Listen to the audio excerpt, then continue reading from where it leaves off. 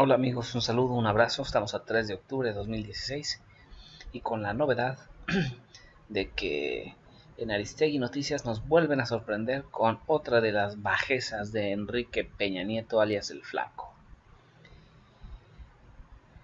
¿Y cuál es esta?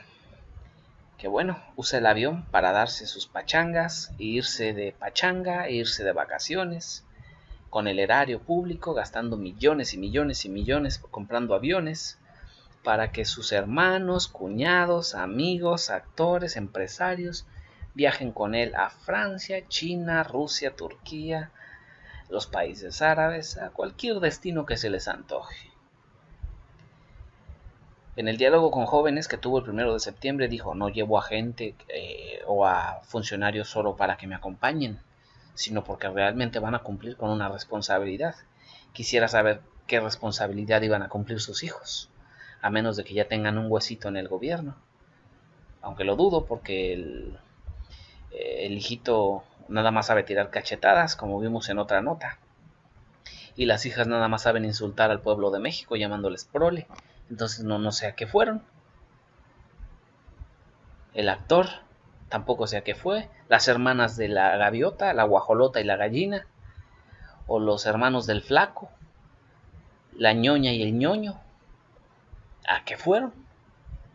Simplemente a burlarse de todos nosotros los mexicanos. Es una pena, es una, es una burla para todos nosotros como mexicanos. Y está registrado, tienen los datos de, de las giras desde 2013 viaje a China y Japón 2013, eh, viaje a Colombia 2013, a Turquía en el 14, y, vemos hasta fotos de, la, artistita eh, sentado en la silla del presidente del avión, tomando en copas de vino, con el lujo a más no poder. Eh, el, comunicado dice, Aristegui Noticias recibió por correo electrónico fotografías adicionales que no eran públicas hasta hoy. En una de ellas se ve al actor Verástegui tomando una copa en el avión presidencial y en otra más sentado en el lugar designado para el presidente de la República, diferenciado de los demás asientos con una tela de color verde y el escudo nacional bordado.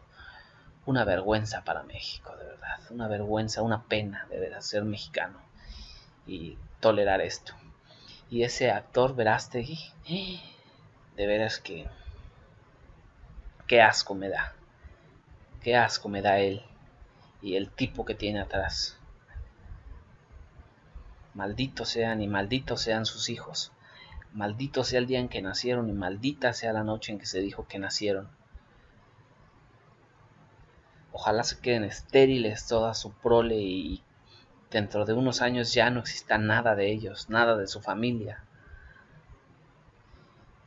Que todo lo que hagan se les pudra y se les deshaga. Y que nada les prospere, que se les vaya el sueño, que, que, ni, ni dormidos puedan descansar. Son una basura. Son lo peor que nos pudo pasar en México. Maldito sea el día en que ese hombre se robó la presidencia.